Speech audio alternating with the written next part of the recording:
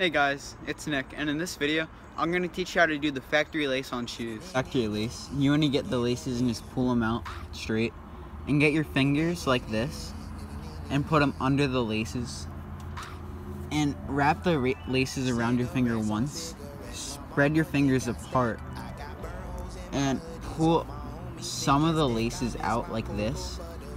See, not all of it, because you want that little loop, and you just want to pull out like that. And there you go, there's a nice factory lace. Um, the reason that you guys want to factory lace your shoes is like if you say you bought a pair of Yeezys and you just wanted to try them on to stunt for the gram or something, then you can just still sell them as dead stock.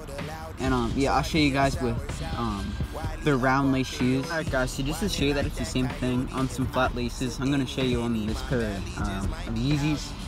So again, you just want to pull out the laces like this, get your two fingers, put it under, wrap it around once, pull your fingers apart a little bit, and just pull out part of the lace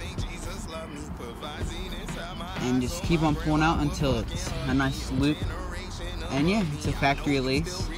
You can pull up these Yeezys and they look brand new again, like you've never tried them on. And yeah, that concludes my video on how to factory lace shoes. As you guys can see, it works with any kind of laces, so don't be asking questions in the comments. And yeah, if you like this video, please leave a like and subscribe. And until next time, I'm out. My mama think I stand.